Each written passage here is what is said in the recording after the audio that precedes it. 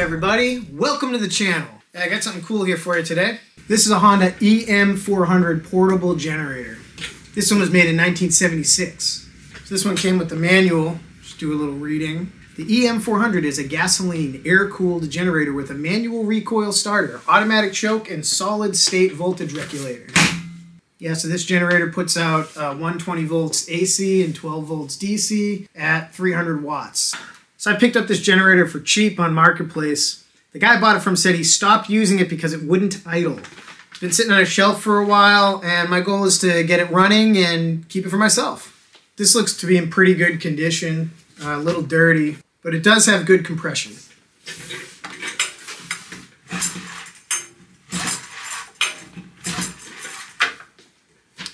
I was told that the fuel and oil were drained out of this before I picked it up, so we can start there. Uh, but something I noticed was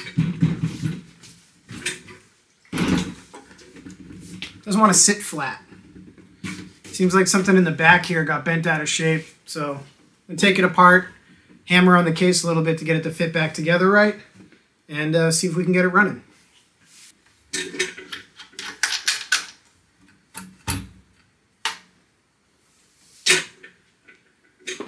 Got the uh, extra spark plug and fuse inside and a little toolkit. It's pretty cool. You can see here, these supposed to be just 90 degree, these sides, 90 degree to the top, and you can see it's bowed out like a little bit there, just a little bit here. Case got squeezed out at the back. Oh yeah. Less bad on this side. Real bad on this side. It might have been dropped or something. Probably doesn't affect how it works at all. It doesn't look like anything is touching. Maybe the coil down here, maybe the ignition coil. I will have to hammer these out, that I know for sure.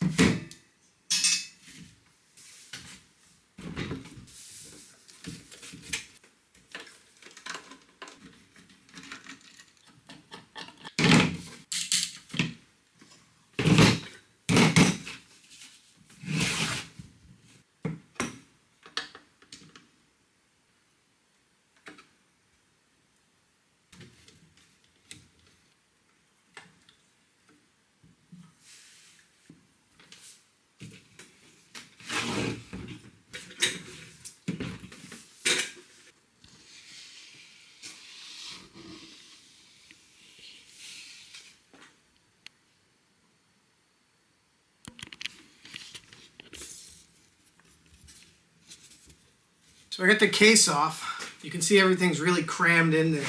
Uh, this thing is way heavier than it looks too, and this is why there's not any empty space inside. So uh, it sounds like there's a little fuel in the tank. Um, gonna get the tank disconnected and drained. Uh, I guess I'll check to drain the oil too. I thought it would have been empty, but you know, open to being surprised. These side panels that I took off the case was definitely dropped at one point. I need to make that corner. I'm gonna pull this completely down and out. Have to do some work on the case to get it to fit back together, but it should be pretty easy. Uh, next, I'll take the tank off.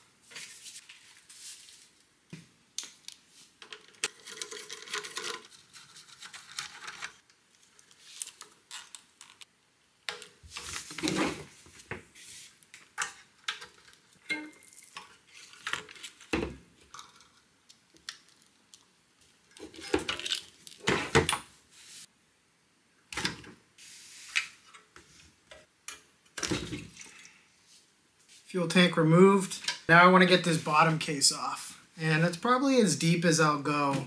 My biggest concern, I'm I'm not sure that it will idle. It looks pretty gross. It's been sitting for a while. I imagine the carb is pretty gummed up. Uh, if I can get down to the carb and get it off completely, that'd be great. I got it on this side. Yeah, the carb does feel pretty sticky, so. All right, keep going.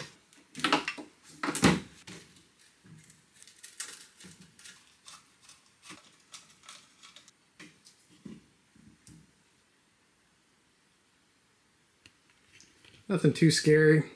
Just looking a little dirty. Got some fuel pulling up right there. This linkage is a little sticky.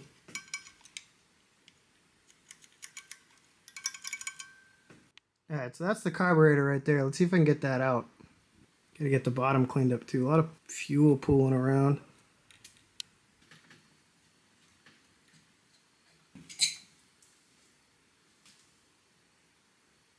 So just took this air cleaner off. All this residue right here, you could tell fuel has been dumping out and turn it into varnish over time. Bunch more right here. Nothing on the outside of the fuel bowl. I think it was coming off, dripping off on the outside of this, contaminating the bottom of the case. So something in the carb is leaking and that's enough of a reason for me to just want to take it off and clean it up. Now, how the hell am I going to do that? There's a nut right here, and there's a nut way back there. So I'm going to have to take off this fan.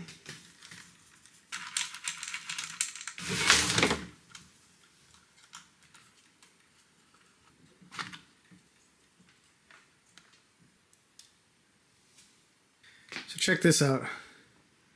I got this tiny wrench and a bunch of other wrenches at a yard sale or an estate sale or something. I probably spent like five bucks. I've never used them before. They're just kicking around. And the nuts to get this carburetor off are like really tucked in there. I'm like, no way, do I get to use that wrench? Yup, it's perfect. 5 16ths, look, it's already loose. Boom, so without this wrench, I wouldn't have been able to get that carb out, but all went to plan.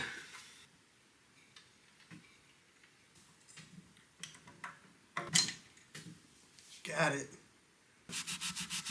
So I'm just going to take a minute here to clean up the bottom of the engine. It's covered in oil and drippy fuel. It's pretty gross.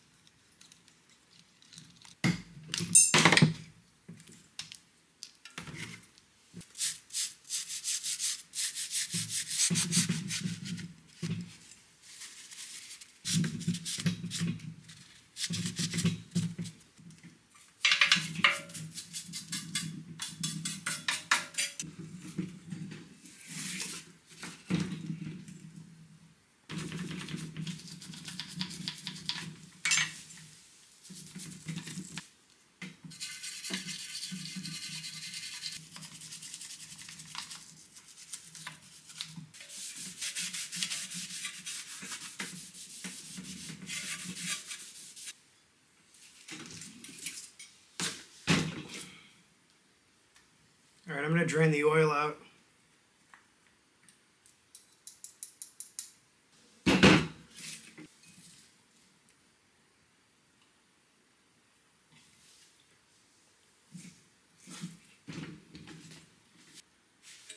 Pretty normal.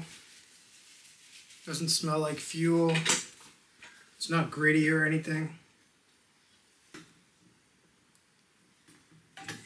All right, so this is as clean as it's going to get. Uh, next, I'm going to work on the carburetor.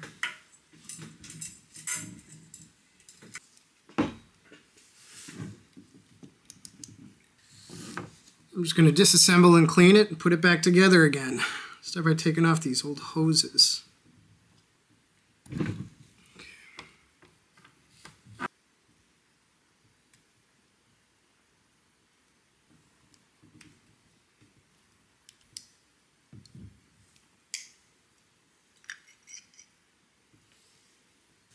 Oh yeah, like all varnish.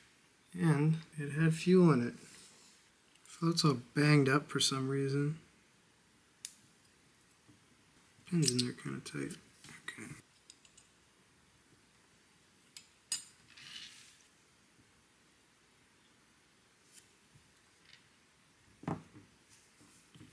Seals are coming out pretty easy. Nothing looks dried or swollen. It's all kind of glued together by varnish. Gross.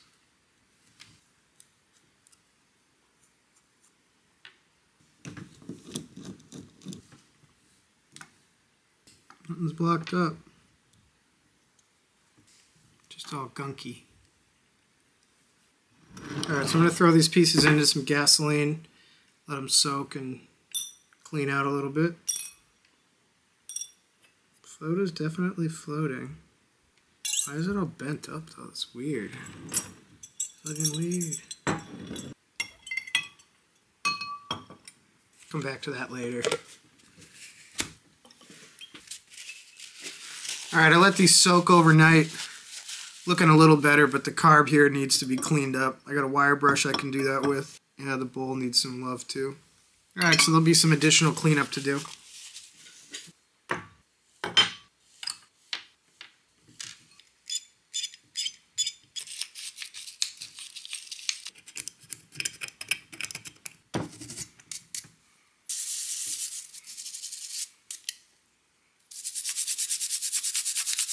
All right, carburetor is as clean as I'm gonna get it. I'm gonna take this out to the garage and blow out all the little holes with compressed air. So this is the part where I went and blew the carb out with compressed air, but failed to film it. Okay, all the parts have been cleaned up and the carb is ready for reassembly.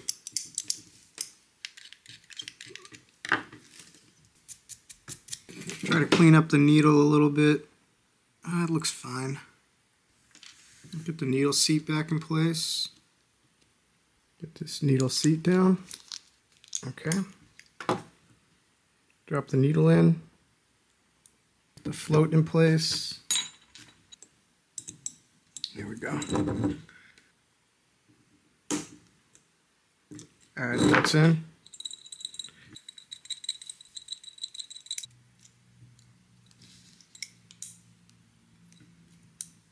Almost forgot the jet.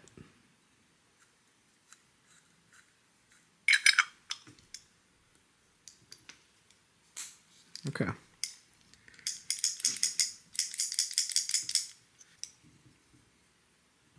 Cleaned out of all the varnish and no longer sticking in any place. The action's much better. All right, next thing I'm going to do is get the carb back on the engine, and then I can uh, move on to reassembling the case.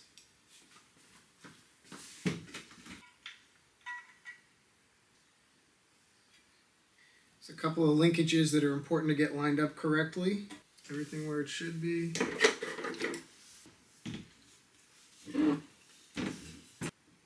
Okay. Carb is reattached. So carb is cleaned and back on. Now I can move on to cleaning the case and getting the whole thing put back together.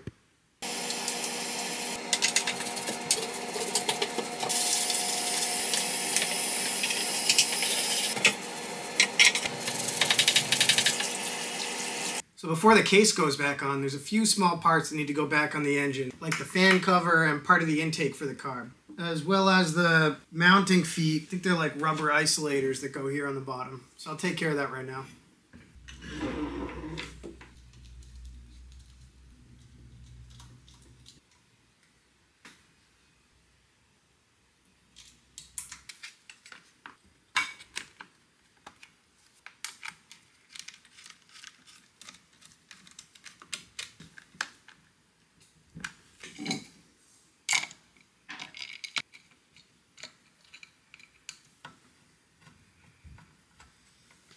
Uh, now I'm going to start reassembling the case. Start with the case bottom and see if I can get it sitting flat.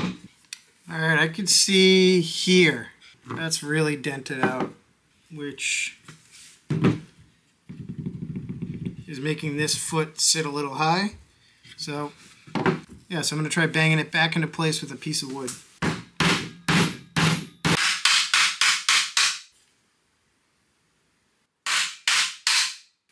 Okay, it looks like I fixed the issues with the bottom case. Uh, everything is pretty much parallel now, at least much better, and uh, it's sitting flat. So that's going to bring mounting tabs like this in alignment with each other that I got in the front and back. Case should go together much easier now.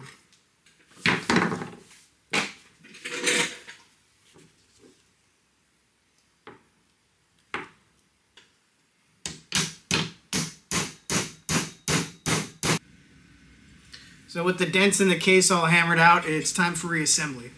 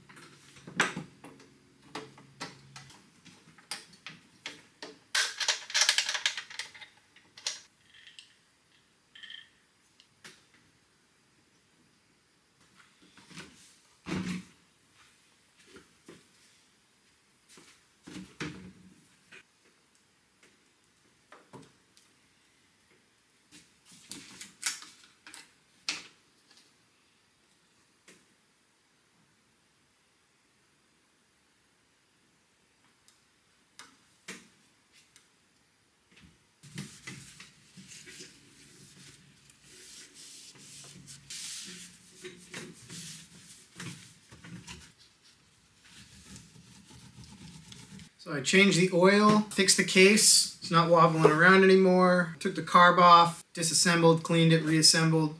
So last thing to do is put some gas in it and see if it runs.